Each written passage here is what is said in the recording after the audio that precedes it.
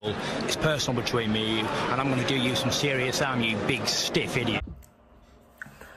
The Untouchable Tru School Sports Empire proudly presents something the boxing game's been missing. Hey, what's going on? It's your boy BT, and I came here to talk some boxing with the thousands of Tru School Sports subscribers. All right, so it's been a little bit of time since I made a video about Demetrius Andrade, and I want to make this very clear. I don't care if he got destroyed and even exposed by Benavidez. I don't care. He's still one of my favorite fighters, and I and and um, I'm looking forward to seeing how he closes his career because I, I don't think the Demetrius Andrade story is done. And funny enough, really interesting plot twist has been thrown my way and your guys' way as it was reported a couple weeks ago. I, I saw it a couple weeks ago, but never had a chance to make a video about it, so I'm making a video about it now. Andre Rozier, who is one of Andrade's you know lead trainers, has confirmed and uh, reported himself that Demetrius Andrade will no longer be competing as as, as a super middleweight. He will not be going back down to 160. Now, before I get into the comments, the quotes, let me just voice some of my displeasure displeasures hearing this news. First and foremost, if he's going back down, if he if he's going back down to 160, then in my opinion, in my mind, Andre lied to me. He lied to me and he lied to the fans because I was told that he vacated the belt with Janibek because he couldn't make 160 no more. That was one of the reasons that, that was stated that he didn't want to fight Janibek. Why he vacated the belt. He couldn't make 160, so it's time to go up to 68. So if you're come back down to 60, it means you can still make the weight, which now makes you question, why the hell did you get rid of the belt? Because I don't think Andre would lose anybody at 68. Truthfully. Um, that he could have fought, you know, like, the, the I don't think he would have lost to Janibek, to be honest with you. Um, so now I'm questioning, like, now I'm thinking he lied, lied to the fans and lied to me because he wanted to go to 68 for a big money fight.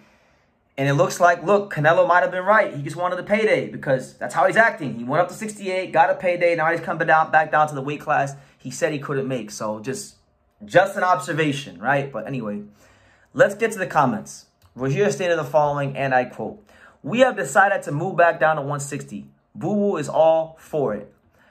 They then started talking about, you know, their roadmap and that the fact that it's not just about Andre coming back down to 160 to become a middleweight champion again. They want to show that he's the best middleweight on the planet, and they also want to show that um, he is one of the all-time greats of the sport, right? So the fights that Rozier has expressed that he wants for Andrade, he stated the following, and I quote, We want to take Erislandy Lara's WBA belt, then unify, then fight Janibek to become undisputed. That will solidify Boo Boo Andrade as a Hall of Fame fighter. End quote. So, lots to unpack there. So, we'll start with the first part of that statement. I think the Lara fight would be a good fight. There's obviously history there. A lot of people that don't like Andrade like to use the fact that he said that Lara was boring and that he fought Jack Culcay as a point against him. So, this would actually be Andrade addressing and cleaning up one of his old messes. So, I wouldn't mind that fight. The only problem with that is that the WBA at the convention recently that I was just at, they just ordered Erislandy Lara to fight Michael Zerafa, Zerafa for the title. And Michael Zerafa has waited patiently for over a year to get his shot. So I don't care what people say. Michael Zerafa should get his shot because he worked his way into that position and he waited a long time for it. Right? So um, once they settle what they got to settle there with the title, then by all means, let, let him fight Lara. And then as far as Janibek, I mean, look, that fight would be great because Janibek also is a fighter that um you know I, wanted to see him fight. Um, and he he avoided him. He avoided the fight. He vacated the belt so he can go to 60 and get a payday. And now he's coming back. And look, this is where my old points, well, why he should have never vacated the belt, are all going to come back into play. Because I always said Andre should have never vacated that belt because that WBO world title was the only, like, position of leverage, the only position of negotiating power he had in boxing. And he couldn't barely, he, he could barely get fights with the belt. So now, not only does he not have the belt, he has a loss. I'm very intrigued to see what kind of fights he can get at 160, honestly. Um, I'll suggest, I'll suggest a fight for Andrade. How about this, right? Because you mentioned you want to fight Lara, right? And you want to go the WBA route.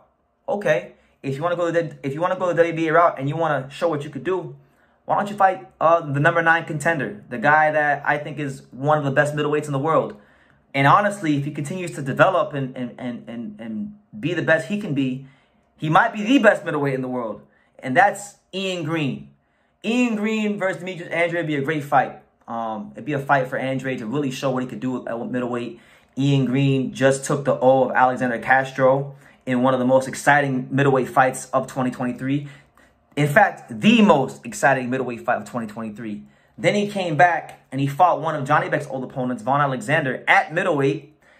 Um, a weight that Vaughn Alexander has never lost at. Gave him a full camp, too. None of this short notice nonsense in the sense that some of these other guys have done with Vaughn Alexander. And what did he do with Vaughn Alexander?